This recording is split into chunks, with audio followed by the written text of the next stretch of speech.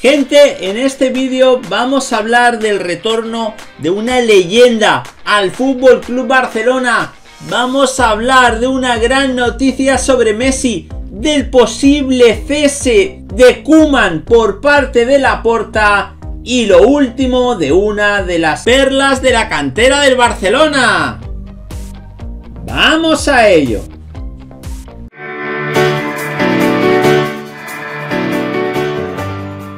Hola de nuevo gente, ¿cómo estáis? Bienvenidos de nuevo a otro vídeo para el canal. Vamos a analizar la última hora del Fútbol Club Barcelona y vamos como siempre a ver varias noticias, en concreto cuatro. Por tanto, te animamos a que te quedes hasta el final del vídeo, a que nos dejes un buen like y a que le deis a la campanita de notificaciones antes de entrar a ver y a valorar el posible cese de Kuman por parte de la porta, vamos a ver una buena noticia sobre Leo Messi. Y es que la derrota contra el Granada también dejó alguna noticia positiva en clave barcelonista, al menos en lo individual. Leo Messi sumó un nuevo tanto esta temporada y llegó a los 26 en liga y a los 34 entre todas las competiciones. El argentino está protagonizando un 2021 absolutamente espectacular y desde que empezó el nuevo año no ha dejado de celebrar goles con la camiseta del Barcelona. El rosarino empezó la temporada algo bajo de forma, arrastrando seguramente el estrés que le provocó su salida frustrada del Barça. Sin embargo, poco a poco se fue entonando y desde hace varios meses ha vuelto a ser el rey de Europa. Nadie ha marcado más goles que él desde que empezó el año y nadie duda que ha recuperado su nivel. De hecho, que el Barça siga compitiendo por la liga es en gran parte gracias a él. Ahora mismo el 10 lleva ya 26 goles en la liga y va lanzado en la carrera por el Pichichi.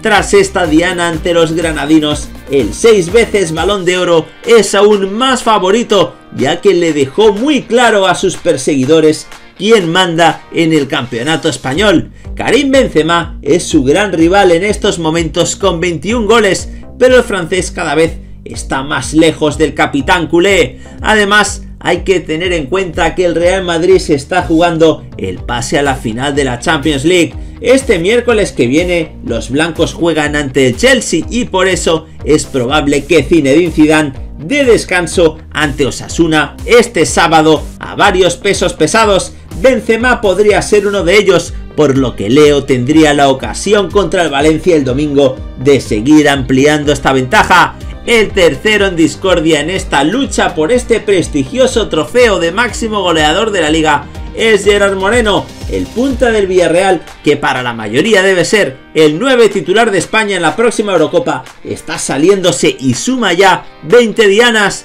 El catalán es el líder y el mejor jugador de los castellonenses y aún sueña con el premio, aunque la realidad es que la distancia con Messi es considerable. Hay que recordar que de ganarlo algo que parece que sucederá sería el octavo Pichichi del de Rosario. El argentino lo conquistó en los años 2010, 2012, 2013, 2017, 2018, 2019 y 2020. Por lo tanto, el de esta campaña podría ser el octavo y el quinto seguido, demostrando que nadie se le acerca. La historia está al alcance de su mano y parece que el capitán del Barça no fallará en su cita, por tanto 26 goles ya en liga de Leo Messi. Y vamos ahora chicos a ver, antes de descubrir qué leyenda ha vuelto al Barça, esta noticia sobre el futuro de Ronald Koeman y su posible despido por parte de la Porta.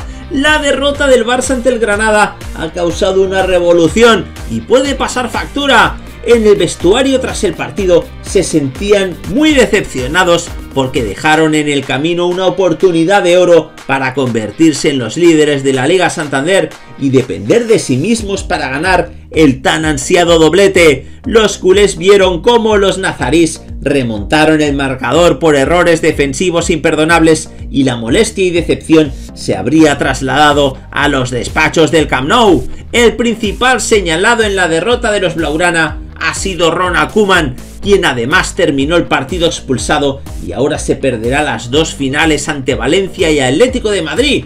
Por ello, según ha informado Deportes 4, el neerlandés podría ser el primer perjudicado y su puesto estaría en juego, a pesar de que en el último mes Joan Laporta le ha transmitido su confianza. En este sentido, el Barça consideraría prescindir de los servicios del de Zandan si finalmente el equipo no consigue ganar el doblete con la liga. La misma fuente apunta que a pesar de que Julian Nagelsmann era el principal candidato de la porta ante su fichaje por el Bayern, desde las oficinas del Camp Nou apostarán por Xavi Hernández para dirigir el banquillo azulgrana si Kuman termina siendo destituido a final de temporada.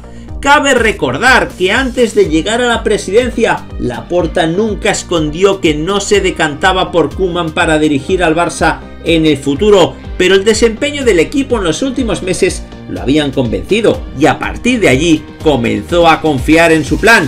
Sin embargo, si los culés no cambian la imagen que dejaron en el partido ante el Granada y se vuelven a enchufar en la liga, la historia será muy diferente y Xavi está esperando. Y es que aquí podéis ver en Twitter, en la cuenta de Deportes 4, cómo se anuncia que Xavi Hernández es el entrenador elegido por la porta si Kuman no consigue ganar la liga. La directiva del Barça ya se ha mensajeado con Xavi y le ha pedido que no renueve. Por tanto, noticia de alcance, vamos a estar muy atentos al respecto.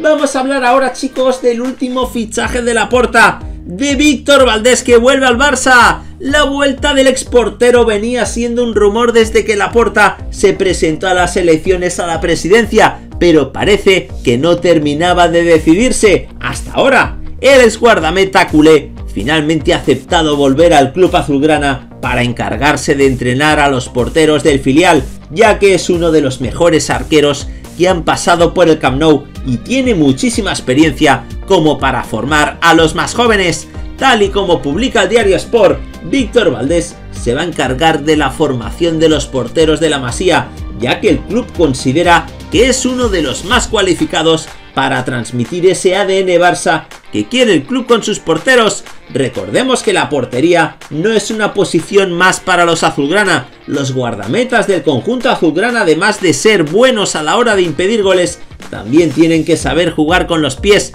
pasar bien, buscar desmarques y tener muchísimo acierto cuando quieren hacer pases largos, es decir, como era el propio Valdés cuando jugaba o como lo es ahora Marc André Ter Stegen quien toca el balón como cualquier jugador de campo. El anterior presidente José María Bartomeu también firmó la vuelta de Víctor Valdés en 2019, pero fue para entrenar al juvenil A del Fútbol Club Barcelona. No obstante, la cosa no salió nada bien, dado que tuvo muchísimos desencuentros con el responsable de la cantera, quien aquel entonces era Patrick Kluivert, finalmente terminó siendo despedido a los pocos meses. A Valdés le ha costado mucho decidirse ya que Laporta le hizo esta propuesta hace varias semanas. El exportero finalmente ha accedido a la proposición del nuevo presidente y está previsto que se reincorpore a conjunto azulgrana en el próximo mes de junio. Por tanto, chicos, aquí dejamos la vuelta de Víctor Valdés al Barça. Estaremos muy pendientes de que se haga oficial. Y vamos a acabar hablando, chicos, de Ilaix Moriba. Y es que fue una de las sorpresas del 11 del Barça contra el Granada. Kuman decidió dar descanso a Pedri y en su lugar sacó al canterano que fue titular por segunda vez en liga con el Barça. El centrocampista fue sin duda una de las pocas cosas positivas que se pudieron extraer en clave barcelonista de la derrota frente a los granadinos de este pasado jueves. El hispano-guineano se movió por el perfil izquierdo desde el interior y le dio mucho dinamismo y recorrido a su equipo. En el primer tiempo destacó especialmente y dejó varios controles orientados de muchísimo mérito que sentaron a sus marcadores. Además, intentó darle velocidad a la pelota y no dejó de pedirla en todo momento, algo que dice mucho de él y de su carácter. Si algo ha demostrado Ilais en los 13 partidos que ha jugado con el primer equipo esta temporada, es que le sobra personalidad. Ante los andaluces volvió a dejar claro que ha llegado para quedarse y que a sus 18 años no le pesa la camiseta del Barça, la quiere, se mueve entre líneas, presiona, trabaja y cada vez parece sentirse más cómodo y protagonista en el centro del campo culé.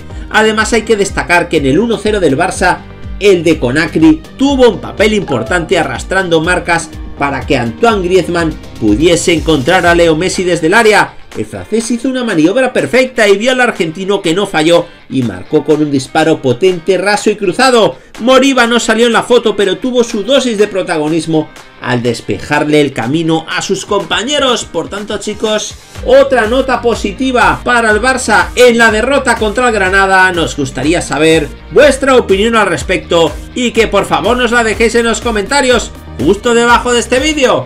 Nada más por el momento, como siempre animaros a que os suscribáis al canal para seguir viendo todos nuestros vídeos y aquí os dejamos este vídeo más que interesante para que sigáis disfrutando de todas las noticias del fútbol. ¡Hasta la próxima!